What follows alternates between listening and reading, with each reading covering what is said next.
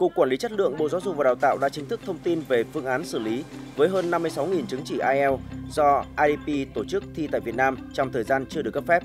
Theo đó, các chứng chỉ năng lực ngoại ngữ của nước ngoài do các đơn vị liên kết tổ chức thi cấp khi đáp ứng các điều kiện bảo đảm chất lượng sẽ tiếp tục được sử dụng bình thường theo quy định của Bộ Giáo dục và Đào tạo về thi, tuyển sinh và đào tạo, không ảnh hưởng tới quyền lợi của người được cấp chứng chỉ.